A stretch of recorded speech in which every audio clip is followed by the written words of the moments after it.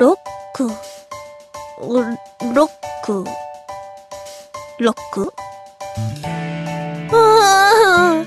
ーん、ロックとは一体何ずら？はっもしかして、岩のこと？あ、ちょうどいいところに、あのね、マルの悩みを聞いてもらってもアクアが今度のステージでロックガールを目指すことになったの。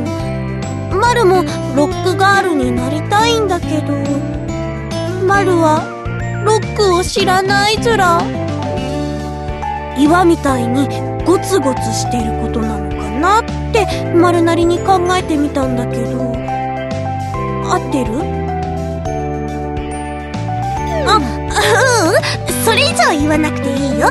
その困ったれば違うってわかるずら。